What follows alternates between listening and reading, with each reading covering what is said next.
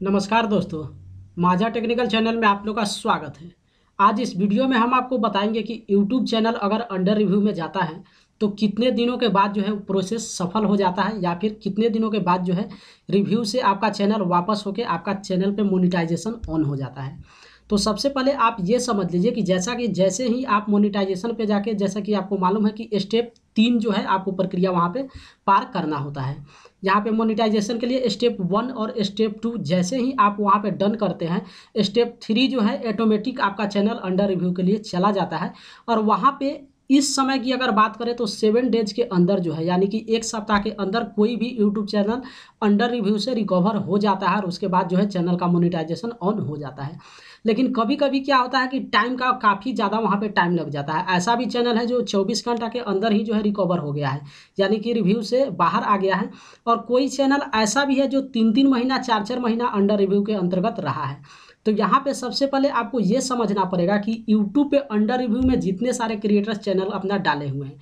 यहाँ पे यूट्यूब पे कोई फिक्स तो है नहीं कि पर डे इतना चैनल बनाया जाता है। या फिर एक मंथ में कोई काउंटिंग वहाँ पे डाटा नहीं है कि कितने यूट्यूबर का जो है वहाँ पे वन के सब्सक्राइबर और फोर थाउज़ेंड वॉच टाइम पूरा हो जाता है। यहाँ पर जिनका सब्सक्राइबर या फिर वॉच टाइम पूरा होता है, वो जो है अपने चैनल को अंडर रिव्यू के लिए डालते हैं, यानी कि मोनिटाइजेशन का अप्लाई करते हैं।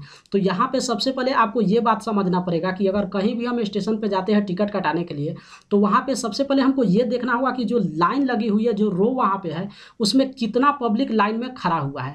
ज़ाहिर सी बात है, आपका नंबर जिस स्थान पे होगा, जिस जगह पे होगा, वहाँ से चल के आपको काउंटर तक पहुँचना पड़ता है। ठीक उसी तरीके से यूट्यूब का भी यही प्रक्रिया है। आपके पहले जितने लोग जो है, अपने चैनल को अंडर रिव्यू के लिए डाले हुए हैं।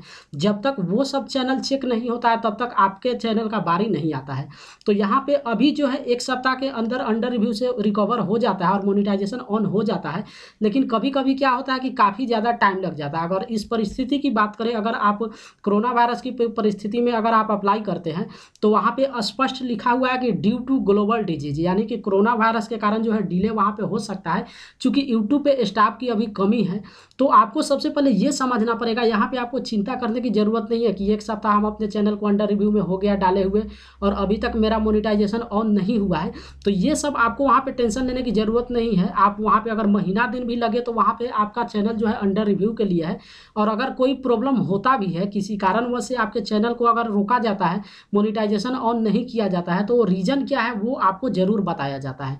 और अगर आपका हर चीज़ वहाँ परफेक्ट होगा, यानी कि आप वहाँ पे किसी तरीके से दूसरे का कंटेंट यूज़ नहीं किए हैं, या फिर वैसा जो यूट्यूब के कम्युनिटी गाइडलाइंस को फॉलो नहीं करता है, उस तरह का अगर आप वीडियो नहीं बनाए हैं तो लगभग जो है एक सप्ताह के अंदर आपका चैनल अंडर रिव्यू से निकल जाता है, और इस तरीके से आपका मोनिटाइजेशन वहाँ पे ऑन हो जाता है। और जैसे ही मोनिटाइजेशन ऑन होगा, आपके चैनल पे जो है विज्ञापन चलना शुरू हो जाता है। तो लगभग एक आंकड़ा दे तो उसमें आप पकड़ के चल सकते हैं कि एक सप्ताह के अंदर चैनल जो है अंडर रिव्यू से वापस आ जाता है। लेकिन कभी कभी वही जो हम बताया कि अगर आपसे पहले ज़्यादा लगा हुआ होगा वहाँ पर रिव्यू के लिए तो फिर आपका जब बारी आएगा तब उस समय आपके चैनल को चेक किया जाता है। और एक चीज़ आप यहाँ पर खास करके ध्यान रखिए कि जब भी आप अपने यूट्यूब चैनल को अंडर रिव्यू के लिए डालते हैं तो वहाँ पे खास करके आप अपने डिवाइस पे या फिर आपके जान पहचान के जो भी है, जो आपके वीडियो को सिर्फ़ ओपन करके वहाँ पे देखते हैं, उनको आप मना कर दीजिए कि वो आपके वीडियो को टच वहाँ पे ना करें। क्योंकि वहाँ पे जब आपका चैनल रिव्यू के लिए जाता है तो वहाँ हर चीज़ आपका चेक किया जाता है कि कहाँ जो है आपका वीडियो चेक किया जा रहा है, कौन है जो सर्च करके आपके वीडियो को चेक कर रहा है, या फिर किसी के स्क्रीन पर यूट्यूब आपके वीडियो को दिखा रहा है तो वहाँ से आपके वीडियो को देख रहा है। क्योंकि अगर आप यूट्यूब क्रिएटर्स हैं तो आप समझते होंगे कि यूट्यूब पे एक ट्रैफ़िक पेज होता है। ट्रैफ़िक पेज से पता चल जाता है कि आपका वीडियो जो है कितना परसेंट सर्च करके देखा जा रहा है या फिर कितना परसेंट वीडियो है शेयर किया जा रहा है या फिर कितना परसेंट वीडियो का आप लिंक किसी को शेयर कर रहे हैं। तो ये सब सारा चीज़ें वहाँ पर डाटा अवेलेबल होता है। तो ये आप खास करके ध्यान रखिए कि जब तक आपका चैनल रिव्यू में है, तब तक आप अपने वीडियो को ओपन करके ना देखिए और लगभग सात दिनों में जो है आपका चैनल जो है अंडर रिव्यू से निकल जाता है और इस तरीके से आपका मोनिटाइजेशन ऑन हो जाता है।